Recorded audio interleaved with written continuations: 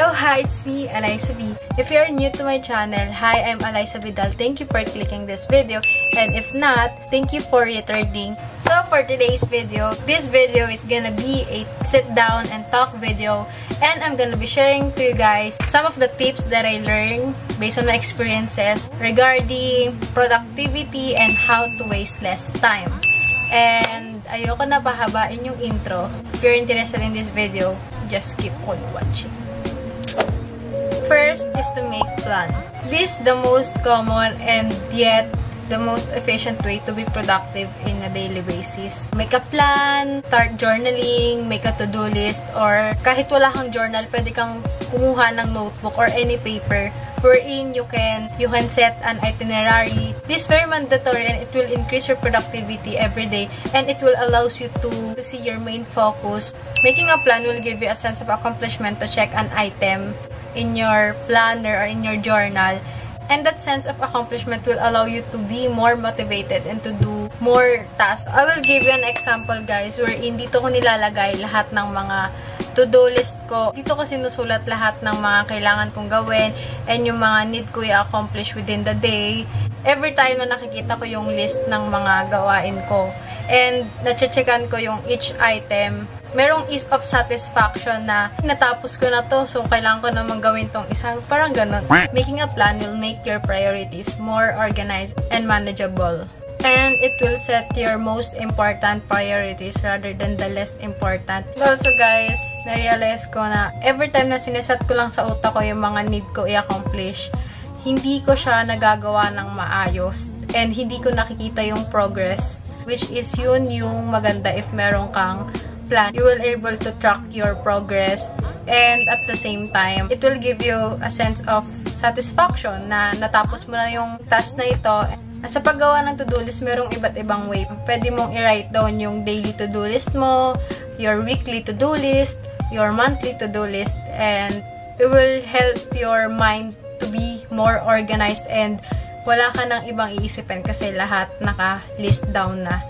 Second is to minimize your distractions. Ito yung pinaka-problema sa atin lahat kasi once na merong nag-pop up na notifications sa cellphone or merong nag-message, yun yung nagiging reason kung bakit tayo nagiging distracted and kung bakit nawawala tayo sa momentum. And I suggest if you really want to focus on your study and to focus on your work, it is much better to turn off your phone or to, to silent your phone. Ang ginagawa ko every time na may ginagawa ako dito and nandito ako sa study table ko, lagi kong pinapatay yung wifi sa phone ko. In that way, wala akong marinig na any notifications or hindi mag-open yung phone ko and may magpa-pop na notification. And guys, your environment is really important.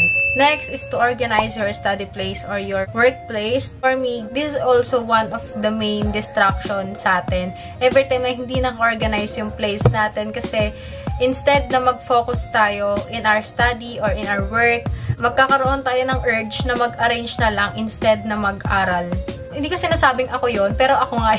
When everything is organized, it is much easier to focus on your work it is much better if minimal lang yung mga things na nasa table mo or yung nasa harapan mo every time na mag-aaral ka. Yung mga gamit sa environment natin is magiging reason din ng distraction. Kaya, it is much better if minimal talaga yung mga gamit. Next is to practice the SMART goals. SMART means specific, measurable, attainable, realistic, and time-bound. Ito, natutunan ko to nung senior high school. When setting up a goal, you need to define it specifically, set a way to measure the progress on it, and make sure it's realistic and attainable. And lastly, is to set a deadline.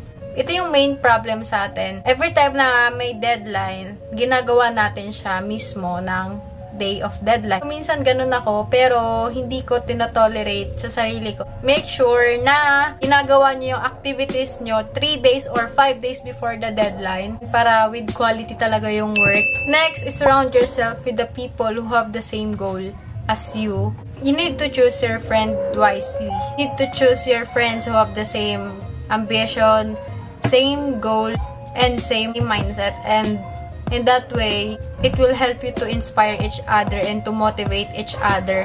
Kung sino yung mga friends na nakasurround sa atin, yun yung nagde-define if what kind of person you are and, and what kind of personality you have.